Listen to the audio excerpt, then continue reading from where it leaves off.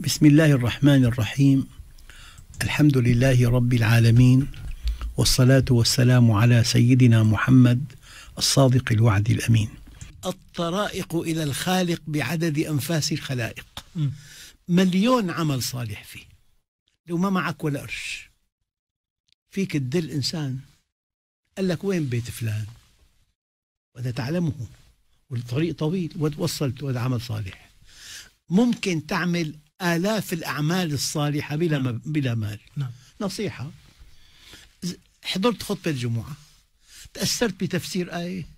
ذكرت لزوجتك. هذا عمل صالح أعلى عمل صالح. ذكرت لأولادك. عندك سهرة أسبوعية. ذكرت لإخوانك. الدعوة إلى الله فرض عين على كل مسلم. في حدود ما يعلم ومع من يعرف. ممكن بكل دقيقة تعمل عمل صالح. إذا أصغيت الإناء للهرة عمل صالح. شو بدي أقول لك؟ يعني ممكن تعمل كل دقيقة عمل صالح. في بيتك في عملك وبالطريق. وقبل النوم وبعد النوم والفجر. والإنسان مريض في عمل صالح.